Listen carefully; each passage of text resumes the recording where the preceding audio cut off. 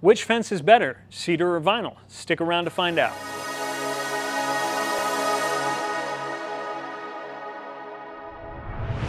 One of the most common questions we get about fencing is, should I do a cedar fence or a vinyl fence? Now, a lot of people know exactly what they want. Either they love the look of cedar or they love the, uh, the appeal of the vinyl, but some people are on the fence about it. When you're making this decision, there are several things to consider. You're gonna think about price. You're gonna be thinking about the appearance of the fence. Some people like one more than the other. You're gonna think about maintenance. We've found that people expect vinyl fencing to be a lot more than cedar, but when it comes right down to the raw numbers, the prices are very similar. In a comparison of projects that we completed in the last year, most of those projects, uh, when compared apples to apples, were within 5% of cost for cedar or vinyl for the same project. What this means is that the install cost of your project, the initial cost of installing your project, is actually only a small part of the overall cost of owning a fence, and so you should keep that in mind. So what other costs are there in owning a fence? Well, if you're doing a cedar fence, the first cost that you're gonna run into within the first year is the cost of staining.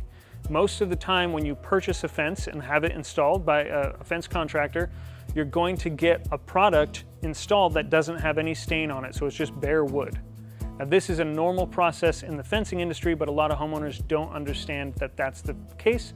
And what that means is that within that first year, you're gonna have between $1,000 and $1,500 in stain for most neighborhood fences.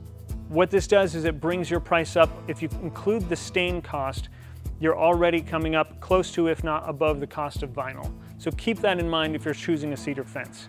If you want the fence to last a long time, you're gonna need to stain it and that staining costs money.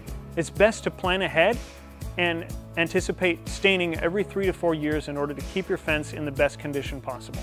It's super easy to maintain vinyl fences. You just spray it down with a hose as needed and you're good to go. When it comes to appearance, if you maintain your vinyl fence or your cedar fence, they're both going to look great for a long period of time and so it's really just a matter of which one you like better. The last factor to consider is longevity, right? How long the fence is gonna last.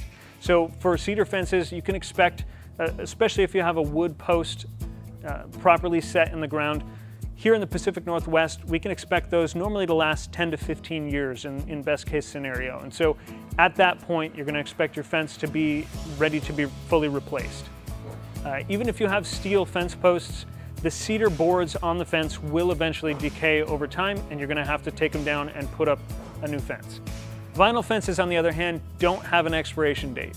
The warranty on the material outlasts our expected lifespan for a cedar fence, and overall, you can expect it to last as long as you own the property. Now that you've watched this video, I hope you have a better idea of which kind of fence you want. If you have more questions about cedar or vinyl fencing, leave them in the comments below or send us a message through our website.